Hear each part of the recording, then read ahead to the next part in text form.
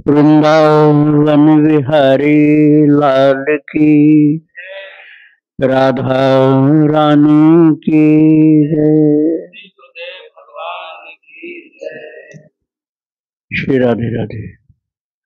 भक्ति प्रश्नोत्तरी कार्यक्रम प्रारंभ किया जा रहा है। आइए हम प्रश्न को श्रवण करें। श्री राधे राधे गुरु जी आपके श्री चरणों में बारम्बार दंडवत प्रणाम। आज का प्रश्न है गुरु जी मैं पटियाला से बोल रही हूँ, नाम गुप्त रखना चाहती हूँ। मेरा प्रश्न है कि महाराज जी, आप महिला वृक्ष साधक के लिए सावधानियाँ बता दीजिए, जो हमें ध्यान में रखनी चाहिए। आज का सम, आज के समय में अपनी साधना करते हुए इसी जन्म में हम भगवत प्राप्ति कर पाए और मार्ग न भटक जाए। महाराज जी, मैं आपका सत्संग पिछले छह साल से सुन रही हूँ। उससे मुझे बहुत मदद मिली है। आपको कोटि कोटि प्रणाम। श्री राधे राधे अनुसुईया माता ने सीता जी से बताया था कि एक ही व्रत होता है, काय वचन मन पति पद प्रेमा। काय वचन मन, काय अर्थात शरीर से, वचन अर्थात वाणी से और मन, ये मन वाणी शरीर तीनों से ही अपने पति के चरणों में सच्चा प्रेम हो, यही सर्वोत्तम व्रत है। ये अनुसुईया माता ने सीता जी से कहा था। तो माताओं को विशेष रूप से यह लाभ भगवान की ओर से प्राप्त है कि वो ठाकुर जी के साथ अपना माधुर्य भाव जोड़ सकते हैं। पुरुष लोग भी जोड़ सकते हैं, लेकिन पुरुषों के सम्मुख अहंकार वाली बाधा बहुत आती है। क्योंकि वह अपने को किसी की स्त्री अर्थात प्रिया न मान के अपने को प्रियतम मानना चाहते हैं। जीवन में ऐसा ही अभ्यास अधिकतर होता है। कोई बहुत उच्च कोट का भक्त हो, पिछले जन्म की साधना हो उसकी, तब तो वो गोपी भाव में हो जाता। है पुरुष भी, जैसे राधा बाबा थे, श्री पोदार जी महाराज थे बाल कृष्ण दास जी थे और भी बहुत लोग थे। लेकिन माताओं को वात्सल्य भाव और माधुर्य भाव, ये दोनों सहज प्राप्त होते हैं। तो आपको प्रश्नकर्ता माता के लिए मैं कह रहा हूँ, और लोगों के लिए भी है, कि आपको यदि वात्सल्य भाव में सहज स्वभाव के अनुसार लगता है, भगवान को अपना बच्चा मानती हो अपना पुत्र मानती हैं आप भगवान को तो पुत्र वाला भाव अर्थात वात्सल्य भाव सर्वोत्तम है। और यदि भगवान से ऐसा प्रेम है, जैसा कि किसी पत्नी को अपने पति से होता है तो माधुर्य भाव ठीक है। और व्रत तो सर्वोत्तम एक ही मैंने बता दिया मन वाणी शरीर से उनके चरणों में प्रेम करना। और जितने व्रत होते हैं, उनमें उतना दम नहीं होता जितना प्रेम में दम होता है। बस प्रेम आपका इतना ऊँचा होता है, इतनी शक्ति होती है कि भगवान प्रेम के आगे झुक जाते हैं। प्रेम के आगे प्रभु झुक जाते हैं, अर्थात जिसके अंदर प्रेम होता है, उसके लिए प्रभु सब कुछ करने को तैयार हो जाते हैं। बस हमेशा ध्यान रखना पड़ेगा कि भागवत विमुख जाने वाला कोई कार्य तो हमसे नहीं हो रहा है। भक्ति के विरुद्ध हमारे जीवन में कोई घटना, कोई संपर्क, कोई परिचय, कोई रिलेशन और कोई पदार्थ है जैसा है तो बाधक है उसको त्यागना पड़ेगा। और प्रभु के सम्मुख अनुकूलता में जो हमको ले जा रहा है, वही हमारे लिए ग्रहणीय है, अनुकरणीय है, वही हमारे लिए एकमात्र रखने योग्य चीज़ है। श्री राधे राधे। राधे राधे महाराज जी, मेरा नाम अनामिका सिंह है।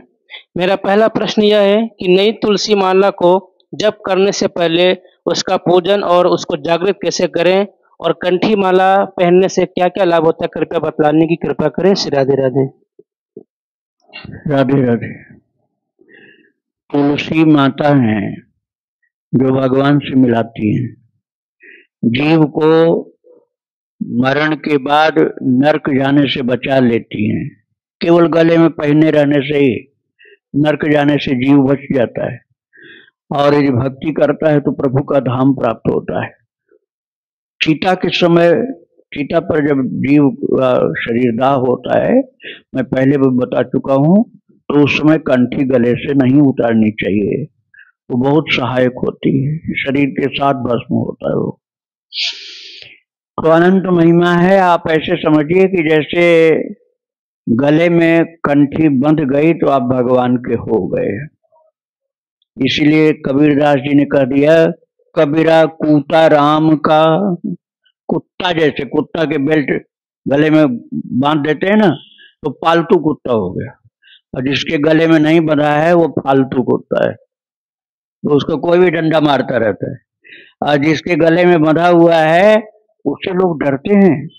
इसको मारेंगे तो पुलिस पकड़ लेगी हमको। तो ऐसे जिसके गले में कंठी भगवान की बंध गई तो भगवान का वो अपना हो गया, भले कुत्ता ही सही। अरे कबीरदास जी जैसे सिद्ध पुरुष, भगवान के पार्षद, प्रहलाद जी के अवतार, वो अपने को कुत्ता बताने में बड़े खुश हो रहे हैं। कबीरा कुत्ता राम का, मोतिया मेरा नाम, गले राम की रासरी, जित खींचे तित जाऊँ। मेरे गले में उन्हीं राम जी की रस्सी बंधी हुई है और जिधर मुझे खींचते मैं उधर खुश होकर जाता हूँ। खूब उछलता कूदता हुआ प्रसन्न होकर। जैसे पालतू कुत्ता खूब को नाचता कूदता पूछ हिलाता हुआ जाता है जब मालिक खींचे। तो मालिक के प्रति समर्पण होता है। उस ऐसे ही जो भगवान की गल, कंठी गले में बाँध लिया, वो भगवान का समर्पित भक्त हो गया। अब उसको कोई दुख नहीं होता संसार में। हमारे ठाकुर जी अपने अब कहे का दुख है। तो क्या क्या पूछा ना मैं हाँ माला तुलसी की ही होनी चाहिए। असली तुलसी की माला आप लीजिए और बहुत सारी विधि का पालन करना है तो आपको पीपल के पत्ते दो लाने पड़ेंगे बड़े बड़े पत्ते। ये मैं पहले बता चुका हूँ, फिर भी थोड़ा आज बता दे रहा हूँ, क्योंकि बहुत लोग पिछला नहीं सुन पाते तो पीपल के दो पत्ते लाने हैं, और लाना कब है? शनिवार के दिन। पीपल को स्पर्श करने का दिन शनिवार होता है। उस दिन लक्ष्मी का वास होता है। तो दोनों पत्ते में साफ़ करके जो चिकना तल होता है, वो ऊपर रखो, खुरदरा वाला ज़मीन पर। और उसको पंचामृत में माला को भिगो करके उसी पीपल के पत्ते पर रखकर दूसरा पत्ता उसके ऊपर ढक्कन की तरह से औंधा कर दो। भगवान के चरणों में रख दो, कीर्तन कम से कम दो घंटा करो उस दिन। दो घंटे से ज़्यादा हो जाए, कोई बुरी बात नहीं, कम नहीं होना है। और फिर रात भर प्रभु के चरणों में रखो उस माला को। सुबह भगवान के स्नान के बाद उसको माला को भी स्नान करा लो। और वो जल फेंकना नहीं चाहिए, वो जल या तो कोई नदी में, सरोवर में, कूप में डालना चाहिए। और नहीं कुछ मिलता है तो तुलसी माता के चरणों में डाल देना चाहिए। ठीक है? उसके बाद माला को भगवान को पहनाओ। भगवान को पहना करके प्रसादी के रूप में उनसे लो और उनसे प्रार्थना करो कि प्रभु आपका नाम जप करना है, भजन करना है, कीर्तन करना है, नाम साधना करनी है, आप अपनी कृपा की शक्ति के द्वारा इस उद्देश्य में बल प्रदान करिए। तो फिर वो माला भगवान के द्वारा प्राण प्रतिष्ठित हो गई। अब आप उससे खूब जप करिए, प्राण प्रतिष्ठित माला में क्या शक्ति होती है? तुलसी माता जप करने में सहायक हो जाती है। जहाँ भूलने लगे तुलसी माता याद करा देती हैं। एक आध छूट गया तो पूरा भी कर देती तो इस तरह से प्राण प्रतिष्ठित माला के द्वारा जप करने में महत्व अधिक होता है। श्री राधे राधे। प्रश्न गुरु जी भगवान के लिए बहुत रोना चाहती हूँ, उनके दर्शन चाहती हूँ, आपका प्रेम चाहती हूँ, लेकिन ऐसा कुछ नहीं हो पा रहा है। पहले मैं भगवान के लिए बहुत रोती थी, बहुत रोना आता था, भक्त चरितावली सुनकर। लेकिन अब भक्त चरितावली सुनकर भी उतना रोना नहीं आता। पता नहीं, गुरुजी, ऐसा क्या हो रहा है? कुछ अच्छा नहीं लगता है। मैं ऐसे, मैं ऐसा क्या करूँ, गुरुजी, कि भगवान के लिए बहुत रोना है और उनसे बहुत प्रेम हो जाए? कृपया मार्गदर्शन करें। श्री राधे राधे। श्री राधे। जो चरित्र आपने सुने हैं, संतों के, भक्तों के, भक्त माताओं के उनमें से उन चरित्रों को छांट लीजिए जिसमें ऐसा प्रेम उत्पन्न होता है। और उस प्रसंग विशेष को, जिसमें आपको भाव विभोर दशा में रुका नहीं जाता है बिना आँखों से आँसू गिराए तो उसको आप डाउनलोड कर लो या नोट कर लो कहीं, उन उन चरित्रों को थोड़े थोड़े दिन के बाद आप रिपीट करो, फिर से सुनो। और ये भी आपको करना पड़ेगा कि संसार में केवल भगवान के भक्तों से ही संबंध जोड़ना है और लोगों से संबंध नहीं जोड़ना है। रिलेशन तो ठाकुर जी से है, लेकिन भगवान के कारण, राम के कारण, राम के कारण ही और लोगों को अपना मानना चाहिए। और यदि भगवान से संबंध नहीं है तो उसको फिर नहीं मानना चाहिए। मानव सब राम के नाते। तो भगवान के संबंध से किसी को अपना मान सकते हो, स्वतंत्र रूप से नहीं। और उन उन चरित्रों को बार बार थोड़े थोड़े दिन में आप सुनते जाओ, जिसमें प्रेम अधिक उत्पन्न होता है। लेकिन किसी के सामने मत सुनो। अब जब आप किसी के सामने सुनोगे तो बार बार उसको इशारा करोगे कि सुनो, देखो, ध्यान दो ध्यान दो। अब आपका ध्यान तो लगेगा नहीं, दूसरे को ध्यान लगाने की कोशिश करते रहोगे। तो लाभ कम मिलेगा? अकेले में बैठ के सुनो, जहाँ तुम्हारी आंसुओं को, तुम्हारे प्रेम विह्वल दशा को कोई देख ही नहीं सके। यदि किसी की दृष्टि पड़ती है तो वो प्रवाह रुक जाता है, मंद पड़ जाता है। यदि भगवान के चरित्र में हंसने में कोई दोष नहीं, लेकिन आनंद आवे तब। हँसी का मतलब उपहास नहीं है। आनंद की बात हो, जैसे बाल लीला है भगवान कृष्ण की। बाल लीला सखाओं के साथ है, उसमें तो आनंद आता है।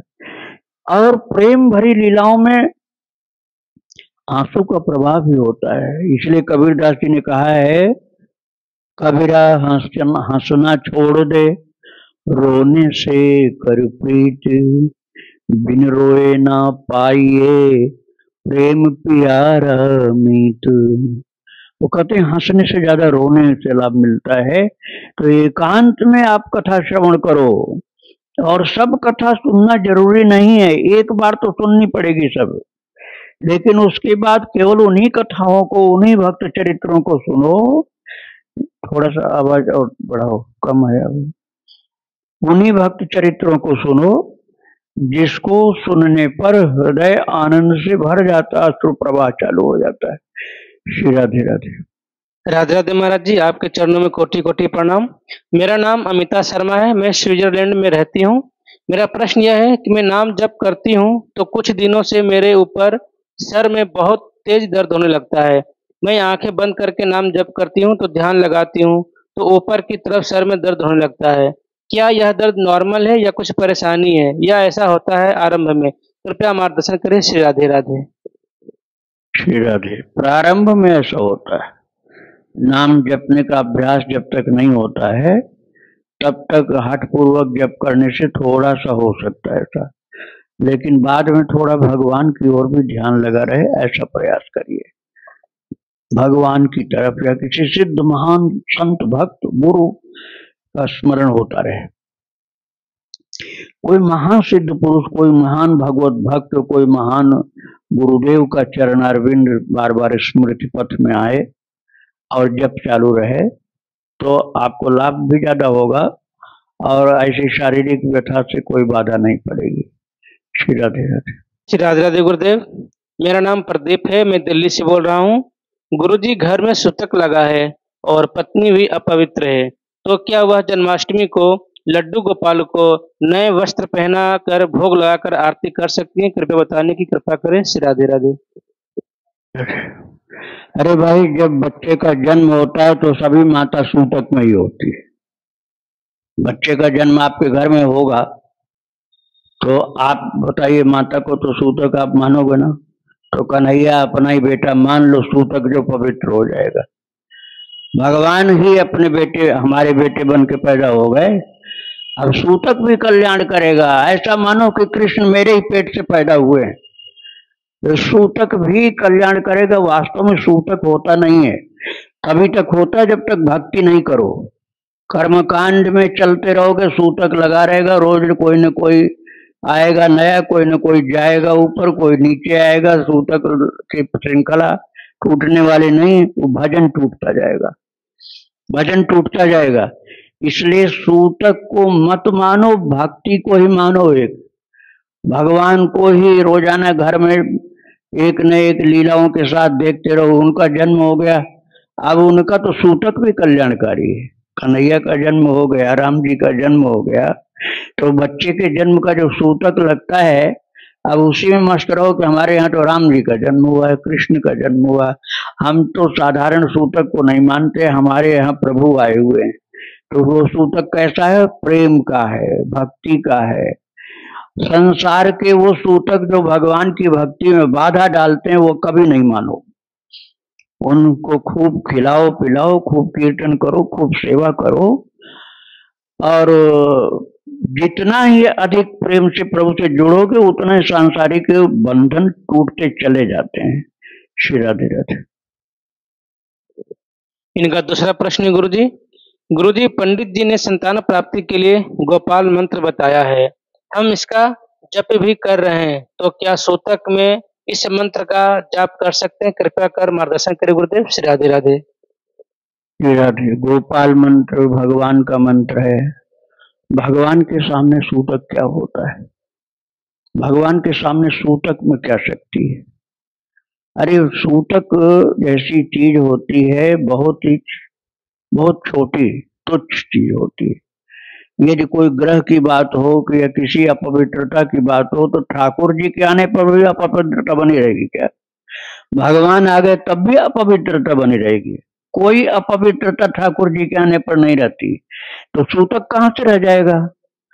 उसके बहाने भक्ति छोड़ देते हैं, भगवान की सेवा छोड़ देते हैं, भगवान को खिलाना पिलाना बंद कर देते अपना खाना नहीं बंद करते। हैं भगवान को खिलाना पिलाना बंद कर देते हैं। इसलिए भक्त के लिए कोई सूतक नहीं होता है। आप आनंद के साथ प्रभु की सेवा करते रहो। राधे राधे। पूज महाराज के चरणों में बारम्बार दंड प्रणाम। मैं शंकराचार्य पीठ से दीक्षित हूँ। प्रश्न है, प्रिया प्रियतम मेरे हृदय में बसते हैं। शिव मंत्र और प्रिया प्रियतम का ध्यान करती हूँ। तो क्या मैं राधे श्याम जप कर सकती हूँ? कृपया बताने की कृपा करें। श्री राधे राधे। राधे राधे। प्रिया प्रियतम ही राधे श्याम, राधा, राधे श्याम तो राधा रानी तो कृष्ण। एक प्रिया, एक प्रीतम है। दोनों का नाम आप खूब जपो, और अच्छी बात है। इसमें किसी एक का नाम छोटा, एक का नाम बड़ा नहीं होता है। बराबर होता है। जो राधा का नाम, वही कृष्ण का नाम। और आप यदि भगवान से, माधुर्य भाव से जुड़े हैं तो और अच्छी बात है, दोनों की कृपा प्राप्त करो। फ़ायदा ही है, कोई हानि नहीं इसमें। राधे राधे। आपका दास वैभव साहू, संत रविदास नगर से हूँ। प्रश्न है, कृपा की भीख मांग रहा हूँ और मेरे परिवार में पहले किसी की मृत्यु हुई थी जन्माष्टमी के दिन पर तो क्या हम जन्माष्टमी मना सकते हैं और व्रत रख सकते हैं? बारम्बार गुरुदेव बताने की कृपा करें। श्री राधे राधे। वैसे थोड़ा लेट आया प्रश्न आपका। कई जगह जन्माष्टमी लोगों ने कल ही मना लिया। और कुछ जगह आज भी है। जैसे मथुरा में कल थी, आज वृंदावन धाम में। बहुत जगह, अपने भक्ति आश्रम में भी आज ही है। तो अभी, अब ये तो आपको शाम तक मिलेगा यूट्यूब में। लेकिन अच्छी बात है, आपने पूछ लिया जानकारी के लिए। भगवान के लिए मैंने बताया ना सूतक वाली को या मृत्यु वाली या संकट वाली कोई बात नहीं होती है। अरे ये मरण धर्म संसार ही है। ऐसा कौन है जो नहीं मरता है? नहीं कोई जन्माष्टमी को मरा होगा, होली को मरेगा, दीपावली को मरेगा, कोई ना कोई त्योहार भी बीच में आते रहेंगे। तो आप भगवान को छोड़ दोगे क्या? अरे किसी, अपने को भी एक दिन मरना ही है, सदा तो कोई रहेगा नहीं। तो भगवान को किसी बहाने से भी नहीं छोड़ना चाहिए और उत्साह और उत्साह से। जैसे जन्माष्टमी को किसी ने शरीर छोड़ा था। तो अब आप प्रभु से कहो कि महाराज, वो तो बड़े भाग्यशाली थे जो आपके जन्म के दिन चले गए। ऐसी कृपा मेरे ऊपर भी करना। हम भी आपके जन्माष्टमी के दिन आपका नाम गाते हुए, आपका उत्सव मनाते हुए आपके धाम जाएँगे। आपको और ज़्यादा मनाना है। कि वो पुण्यात्मा व्यक्ति थे, जो ठाकुर जी के दिन ठाकुर जी के धाम गए तो अपने लिए भी कल्याणकारी है। हम भी ऐसा हमारे सामने आएगा तो अच्छी बात। और ज़्यादा उत्सव से मनाना चाहिए, उत्साह से उत्सव मनाना चाहिए। भगवान का उत्सव किसी भी कारण से नहीं रोकना चाहिए। लोग कहते हैं, हमको सहा नहीं, ऐसा क्या होता है, सहा नहीं? अरे तो मृत्यु का लोक है, मरना है, सभी को पैदा होना, मरना। ये सहन करने वाली कोई बात नहीं होती तो ब्रह्मा का ये लेख जो चालू रहता है, अपने को अपने ठाकुर जी की भक्ति करनी है। राधे राधे। राधे राधे महाराज जी, मैं उषा अग्रवाल दिल्ली से। प्रश्न है, महाराज जी, मेरे माता पिता राम सुखदास महाराज जी से जुड़े हुए थे। सिर्फ़ राम राम करना ऋषिकेश में रहना यह किया। बचपन से उन्हें सत्संग सुना, लेकिन करीब 20 साल पहले मैंने पड़ोस में एक ब्राह्मण से दीक्षा ली थी। नाम जप नहीं कर पाई। ब्राह्मण ने मुझे महामंत्र की दीक्षा दिया था। मैं वह कर नहीं पाई। मुझे सिर्फ़ राम राम की आदत है। तो मैं बचपन से ही सिर्फ़ राम राम की माला करती हूँ। क्या मैं ठीक हूँ? या मुझे दोबारा दीक्षा लेनी चाहिए? मेरा मार्गदर्शन करे। मैं आपकी अति कृपा होगी। श्री राधे राधे। श्री राधे राधे। दीक्षा बार बार नहीं लेनी चाहिए भाई। उसमें गुरु का अपमान होता है बार बार दीक्षा लेने से। जिस गुरु को आप छोड़ोगे, दूसरे को पकड़ोगे तो पहले वाले गुरु का अपमान हो गया, तिरस्कार हो गया, उनको आपने त्याग दिया। अरे, जो गुरुदेव आपको भगवान की तरफ़ ले जाने के लिए रास्ता बताए थे, उनका त्याग करोगे तो उनका तिरस्कार हो गया ना। किसी भी गुरुदेव, जो भी गुरुदेव ने दीक्षा दी है उनको छोड़कर फिर दूसरे गुरु की आवश्यकता नहीं होती। बस उनका भक्ति मार्ग होना चाहिए। इतनी ही बात केवल जानो खान पान गलत गलत नहीं हो। शुद्ध सात्विक जीवन हो, शुद्ध सात्विक भक्ति मार्ग उन्होंने बताया हो तो आपको गुरु छोड़ने की आवश्यकता नहीं। आपको शिक्षा सही ग्रहण करने की आवश्यकता है। जैसे उन्होंने आपको महामंत्र की दीक्षा दी है महामंत्र का तात्पर्य यहाँ है हरे राम हरे राम राम राम हरे हरे हरे कृष्ण हरे कृष्ण कृष्ण कृष्ण हरे हरे ये महामंत्र हुआ और आप पहले राम सुखदास जी के साथ रहने से राम राम राम राम राम राम राम राम राम सुखदास जी यही जपते थे राम राम राम राम राम राम राम राम तो आपका राम नाम जपने का अभ्यास है तो दोनों वास्तव में एक ही हैं शंकर जी राम राम जपते हैं और उसी के लिए तुलसीदास जी ने लिखा है, महामंत्र जय जपत महेशु, काशी मुकुट हेतु उपदेशु। राम राम जपते हैं शिव जी, और कहा गया महामंत्र जपते हैं। और महामंत्र हरे राम हरे कृष्ण को भी बोलते हैं, और तुलसीदास जी ने राम को भी महामंत्र बताया। तो राम सुखदास जी राम राम जपते थे और तो आपके गुरु जी ने महामंत्र हरे राम, हरे कृष्ण दिया, दोनों वास्तव में एक ही हैं। लेकिन गुरु महाराज का तिरस्कार न हो, इसलिए सुबह स्नान के बाद कम से कम एक माला माला ले करके जो गुरुदेव से आपको प्राप्त हुआ, वो ज़रूर जप करिए। उनका सम्मान करिए। एक माला हरे राम, हरे कृष्ण वाली जप लीजिए, ज़रूरी है। इसके बाद फिर राम राम राम राम राम राम राम राम राम राम राम राम राम जो राम सुखदास जी करते फिर वो चालू रखो पहले अब दीक्षा राम सुखदास जी ने भले नहीं दी हो लेकिन बहुत महान संत थे और सेठ जयदयाल जी गोविंद का जिनका चरित्र मैं भी सुनाया था दो तीन दिन पहले वो बहुत महान पुरुष थे बहुत उनका चरित्र थोड़ा पहले भी सुना चुका हूँ मैं वो उन्हीं के आश्रित होकर रहते थे। राम सुखदास जी, श्री सेठ जी जयदयाल अंबिका के चरणाश्रित होकर के रहते थे और उनकी कृपा से उनको सब कुछ प्राप्त हुआ था। बहुत शक्ति थी, भक्ति थी, सेवा भाव था, गीता प्रेस की सेवा में लगे रहते थे। तो वो दीक्षा भले न दिए हों, लेकिन उनके सानिध्य में आपने राम राम राम राम जपा है तो वो भी गुरु हुए। राम सुखदास जी भी गुरु हुए आपके। उन्होंने शिक्षा दी है और जिनसे दीक्षा मिली उनका भी सम्मान करो एक माला उनका दिया हुआ जप करो। और शेष टाइम में आप राम राम राम सुखदास जी से जो प्राप्त हुआ वो जब करते रहिए। राधे राधे। राधे राधे महाराज जी। महाराज जी दोष दृष्टि के बारे में थोड़ा सा ज्ञान दीजिए। श्री राधे राधे राधे। देखिए बुरा जो देखन मैं चला, बुरा न मिलिया कोई। जो दिल खोजो आपना मुझसे, बुरा न कोई। ऐसे बोलते हैं ना कि किसी को देखो ये बहुत खराब आदमी। तो किसी को मान लो आपने कहा, ये बहुत खराब है तर्जनी दिखाया। तो तर्जनी तो उसको दिखा रही है, तीन उंगली अपनी और घूम कर दिखा रही। तर्जनी जो है, उसको जिसको बुरा हम बता रहे हैं, उसको इंडिकेट कर रही है तर्जनी। इंडेक्स फिंगर और इसके नीचे वाली तीन उंगली हमारी ओर घूम के बता रहे हैं कि उनसे तिगुना तो बुरा है। जिसको बुरा बता रहा है, उनसे वो तो एक उंगली की है। और इधर तीन उंगली घूमी हुई है। अर्थात उनसे तीन गुना बुरा तू है पहले अपनी ओर देख। तो जब हम अपना जो दिल, खोजो अपना मुझसे बुरा न कोई वास्तव में अपना आत्मदोषदर्शी बनना चाहिए। आत्मदोषदर्शी का तात्पर्य होता है अपनी कमियों को ढूँढने वाला। जब हम अपनी कमी ढूंढेंगे तभी तो सफ़ाई करेंगे। अब देख सफ़ाई जब गंदगी ही नहीं अपनी देखेंगे तो सफ़ाई क्यों करेंगे? अब दूसरा कोई कितना कीचड़ लपेटे जा रहा है, उसको देखते रहोगे, बताते रहोगे, और अपने कीचड़ कितना लिपट गया है, उसको कभी नहीं देखोगे तो साफ़ ही नहीं करोगे। और जब तक निर्मलता नहीं आएगी, तब तक ठाकुर जी अंदर कैसे आएँगे?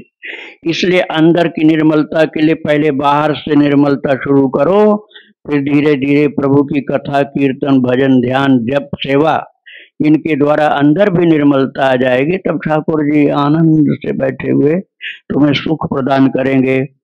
इसलिए अपना दोष देखने का अभ्यास डालो तो दूसरे का दोष देखने की आदत धीरे धीरे छूटती जाएगी और हम उस अवगुण से मुक्त हो जाएँगे। एक काम और करना पड़ेगा कि दूसरे के दोषों का बखान जो कोई कर रहा है, आप उसको सुनो मत, तुरंत उठ करके चल दो। व्यवहार मत निभाओ ऐसे आदमी के साथ। बहुत गलत है। जो कहते हो, हम कैसे उठ जाए? उनकी बात तो हमें सुननी पड़ेगी। और जो भी सुनाएँगे, हमें सुनना पड़ेगा। आप डांट नहीं सकते हो तो प्रार्थना तो कर सकते हो। डांटने की हिम्मत है तो डांट दो कि हम नहीं सुनते ऐसी बातें। ये सब और किसी को सुनाना। और नहीं डांटने की हिम्मत है तो उनसे हाथ जोड़ के कहो, भैया, हम किसी की बुराई नहीं सुनते। हैं हम इसलिए नहीं सुन पाएँगे आपकी बात। एक बार आपको कहना पड़ेगा रोज रोज नहीं कहना पड़ेगा, क्योंकि वो आदमी समझ जाएगा कि हमारा ये श्रोता नहीं है, दूसरा श्रोता ढूंढेगा वो, आपको अपनी कथा नहीं सुनाएगा फिर। तो दूसरे के अवगुणों को मत सुनो और अपने अवगुणों को ढूंढो। और ढूंढ करके उनको खत्म करो। अपने को स्वच्छ बनाओ, निर्मल बनाओ। दूसरे के दोष देखने से फ़ायदा क्या? हानि हानि है। तो सावधानी है आत्म दोष दर्शन करना है, पर दोष दर्शन नहीं करना है। श्री राधे राधे। राधे राधे गुरु जी आपके चरणों में कोटि कोटि प्रणाम। गुरु जी हमारा प्रश्न है कि जैसे हम बाहर से आते हैं वृंदावन में दर्शन के लिए तो समय के अभाव में कहीं जैसे बाकी बिहारी जी दर्शन नहीं हो पाया या और कहीं पे तो कोई गुरु जी अपराध तो नहीं बनता ऐसे में?